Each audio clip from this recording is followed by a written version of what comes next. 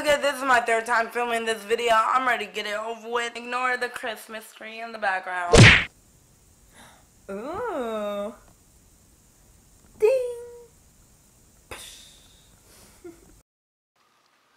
Hello everybody and welcome back to my YouTube channel. It's Bre'Donda Rae and Happy New Year. Oh my gosh. It's 2017 and we're alive. We made it. I'm happy. It's a new year and that means it's time for a new me. I don't know. I don't like saying that. New year, new me crap. I'm just gonna continue to upload videos on my YouTube channel. With that being said, thank you so much to my 50 subscribers.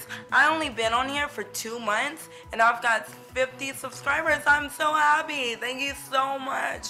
That means a lot that you guys enjoy watching my videos because I love doing this and I really see myself making some kind of positive change or being a positive influence on you guys. So thank you so much for subscribing. In this video, if you could not tell already by the title, I mean, it's down there. I don't know where anything is. I'm sure you could already see that it's gonna be about my testimony and how I became closer to God and a better Christian because that's something that's important to me in my life. It's um, my religion. Yeah, I really want to share this with you guys because it's something that changed my life and maybe you guys can relate.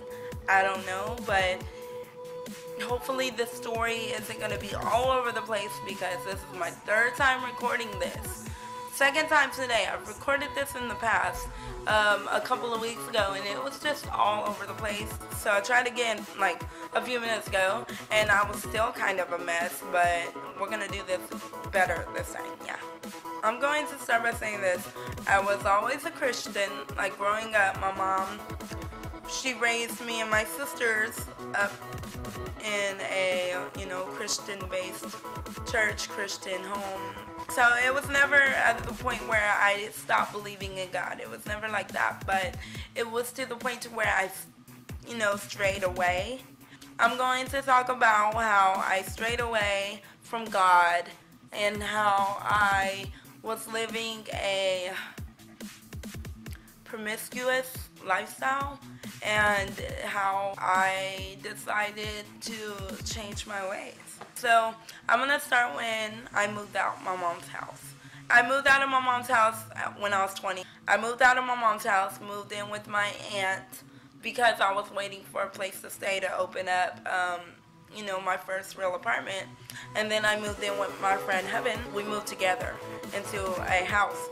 And then things were good there. We weren't bad. We were doing the basic 21 year old things. I was 21 when I finally moved in my first place.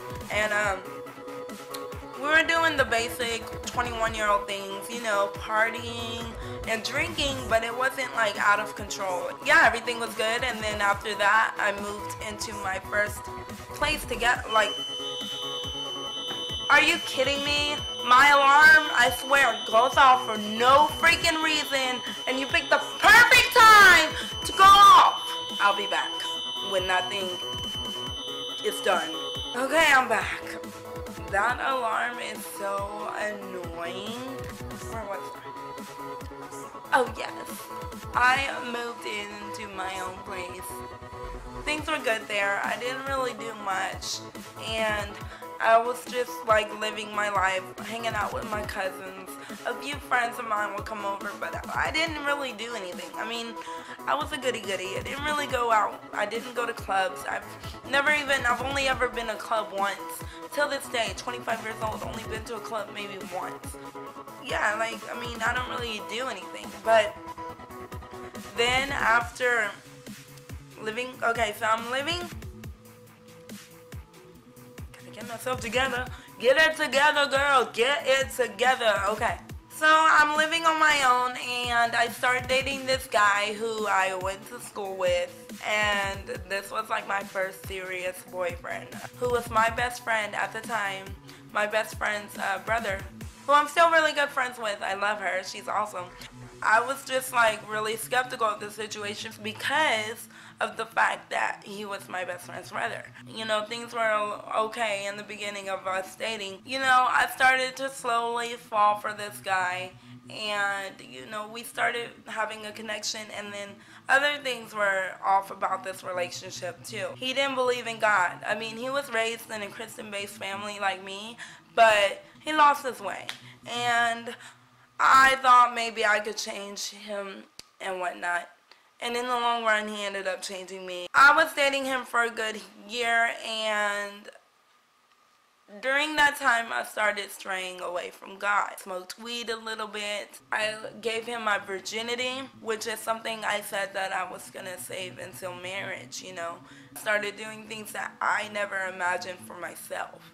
And so things just kind of like went downhill after that. So we ended up breaking up. He cheated on me and he left me for another woman, which is true. I'm not making this up. She even told me this is verified and everything. I was devastated. Like I was in the worst place possible to the point to where I was just depressed in my head. I kept like saying things like, if he doesn't want me, nobody's gonna want me. I, I might as well just kill myself. And that's not good. That's not God-like. That's not Christian-like. That's just not good all in all. Whenever I was in the process of trying to get over him, I decided, okay, what better way to get over somebody than to get under somebody. That's like the stupidest thing to think. You shouldn't think that because that is not the way to get over someone. You have to let yourself go through it. It's not gonna work, trust me. I thought it was and it didn't. I ended up having sex with another guy and then another guy and then another guy and it started kind of spiraling out of control. That was not me. That was not who I am. I was just sleeping with guys, even guys that I didn't even like.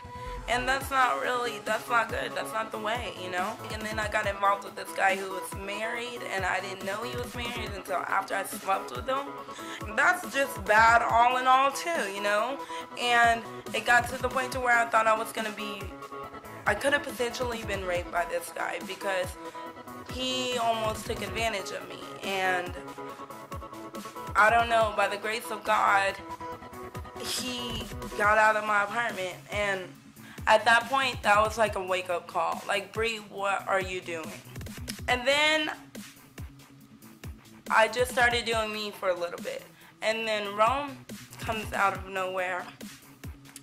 And he started talking to me. And I invited him to my birthday party with my friends at the bowling alley. And then he just kind of swept me off my feet. And he wanted to date me, so he took me on a date and he, it was like something I haven't even experienced ever. And so we started dating and he was like, Bree, you want to go to church with me? Because he goes to church every Sunday. And first started dating, he was going to church and I wasn't going with him because I wasn't going to church then. And he finally was like, you should come to church with me. You really like it. And I was like, uh, no, I don't want to go. Um, I'm not ready to go yet. I mean, I'm good with God. I don't need to go to church to prove that I know God and know Jesus, that good stuff. He was just like, okay, well, whenever you're ready, I would really love for you to come. And finally, I was just like, okay, well, I'll come because, you know, I, I want to spend time with you and I don't want to spend any more time apart than I did already. So I was like, okay, I'm going to come with you. And then I fell in love with the pastor and his wife and I got baptized because I wanted to start anew. I just wanted to be better with God and I wanted to repent it was the best thing that I could have done for me because I feel like I'm in a much better place than I've ever been in my life. It's all because of God. It's all because God sent me Rome. It was good because I needed to be saved. And if he hadn't, there's no telling where I'll be right now, You know, if God hadn't sent me Rome, I could be in a worse place. Like, I could have been raped that night. I could be sleeping with some loser and catching something or getting pregnant. I want to encourage you all, if you believe in God, if you believe in a higher power, to get closer and believe that Jesus Christ died for our sins because he did. Even if you don't believe in a higher power, I encourage you just to just to live a better lifestyle because doing these things that can't be good for you, you know? It's not. It's not. And it's not worth it in the end to be hurt or sick or uh, like killed by doing something you thought was a good idea, you know, and it wasn't. Hey guys, sorry for the background noise. I'm editing Starbucks, but all I was trying to say was make better choices that won't end up hurting you in the long run. So, with that being said, I'm glad to be a Christian and I'm proud to be the person I am today. I'm proud and I'm glad that I went through the things I went through to be where I am today. Well, I hope that you guys enjoyed my little story time testimony type deal, and I hope that this inspired you and maybe helped you in some kind of way. And with that being said, click there to subscribe to my channel. Click there to watch my last video and give it a big thumbs up because I am um trying. I don't know. Just give it a big thumbs up. Okay? Much love. Bye.